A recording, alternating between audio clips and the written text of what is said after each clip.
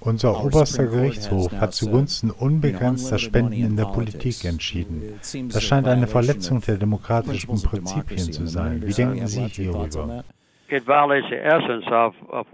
Es verletzt den Kern dessen, was Amerika hinsichtlich seines politischen Systems zu einem großen Land gemacht hat. Nun ist es nur noch eine Oligarchie, in der im Wesentlichen grenzenlose Bestechlichkeit über die Präsidentschaftsnominierung oder die Präsidentschaftswahl entscheidet. Und das Gleiche gilt für Gouverneure, US-Senatoren und Kongressmitglieder. Wir sahen soeben die vollständige Zersetzung unseres politischen Systems zugunsten der größten Spender, die Vergünstigungen für sich selbst wollen, erwarten und manchmal erhalten, nachdem die Wahl vorüber ist.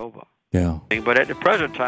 Die Amtsinhaber, egal ob Demokraten oder Republikaner, betrachten dieses unbegrenzte Geld als ihren eigenen großen Verdienst.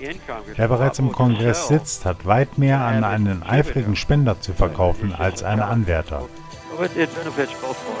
It's, it's very unfortunate.